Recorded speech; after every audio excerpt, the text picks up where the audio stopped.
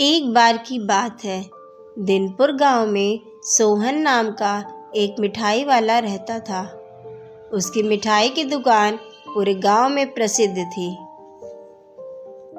सभी उसकी दुकान से आकर मिठाई लेकर जाते थे। सोहन और उसकी पत्नी शुद्ध देसी घी की मिठाई बनाकर बेचते थे, जो कि सभी को बहुत पसंद आती थी। मिठाई की अच्छी बिक्री के कारण उसकी दुकान बहुत अच्छी चल रही थी, जिसके कारण उसको काफ़ी मुनाफा भी हो रहा था। लेकिन सोहन फिर भी अपनी कमाई से खुश नहीं था। वह और कमाई करना चाहता था।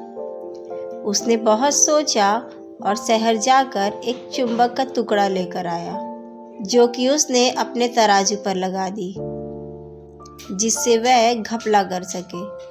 जिसके बाद एक ग्राहक आया और उसने एक किलो जलेबी के लिए सोहन को बोला। सोहन ने चुंबक लगाकर जलेबी तोल दी, जिससे उसको ज़्यादा मुनाफा हुआ। उसने अपनी पत्नी को ज़्यादा मुनाफे के बारे में बताया। उसकी पत्नी ने सोहन से इसका कारण पूछा तो उसने चुंबक वाली बात बता दी। उसकी पत्नी ने उसको समझाया कि ये तो ग्राहकों के साथ धोखेबाजी है। वह ऐसा ना करे। लेकिन सोहन कहाँ मानने वाला था? उसने यह काम चालू रखा। क्योंकि उसको बहुत ज़्यादा मुनाफा हो रहा था।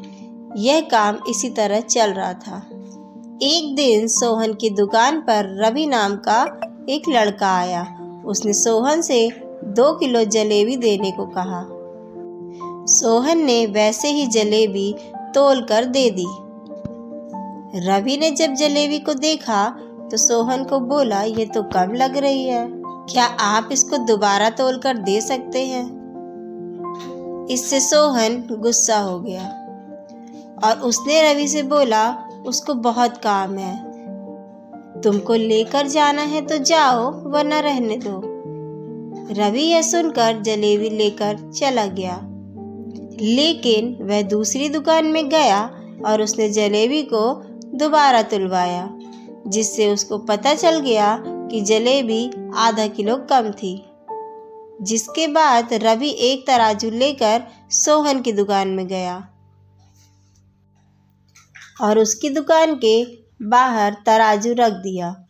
रवि ने सभी गाँव वालों को चिल्लाकर बुलाने लगा। यह देखकर सोहन डर गया। रवि से बोला, ये क्या कर रहे हो? रवि ने लोगों को बताया, जादू देखो। इस, आप जो भी इसमें तोलोगे, वह कम हो जाएगा, जब आप सोहन के तराजू में तोलोगे। उसने यह करके दिखाया और इसके बाद सोहन के तराजू में लगा चुंबक लोगों को दिखाया और सारी बात बताई, जिससे लोगों ने सोहन की खूब पिटाई की। सोहन ने आगे से ऐसा काम ना करने का वादा किया। इस कहानी से हमें ये प्रेरणा मिलती है कि हमें कभी भी लालच नहीं करना चाहिए। हमारे पास जो कुछ भी है, हमें उसके साथ खुश रहना चाहिए।